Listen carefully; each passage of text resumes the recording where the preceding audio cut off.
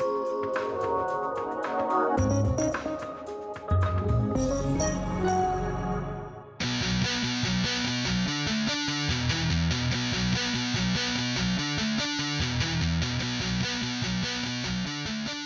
business is about building high-performance choppers.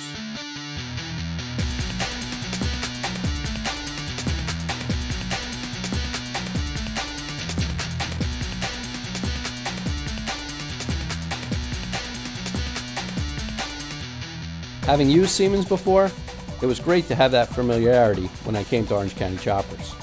Siemens has always been a very strong brand in 5-axis CNC. Since getting the 5-axis water jet system, the Siemens SINUMERIK control has let us do some amazing 3D work for our customers. People are often surprised that we can cut metal parts using water. It's a multiple coordinate system. In one operation, we can cut different fender designs and we can cut the holes at the same time.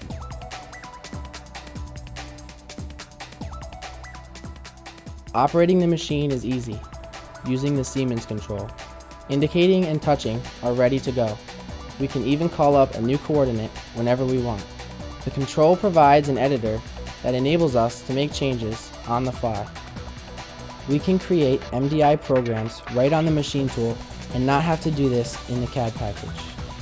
In my experience, it's very natural to see a Siemens control driving all of this. Seeing how easily this sets up, it will be great to see that ease of use on other pieces of equipment. We try to one-up ourselves on every bike we make. What helps us do that is to stay on top of technology.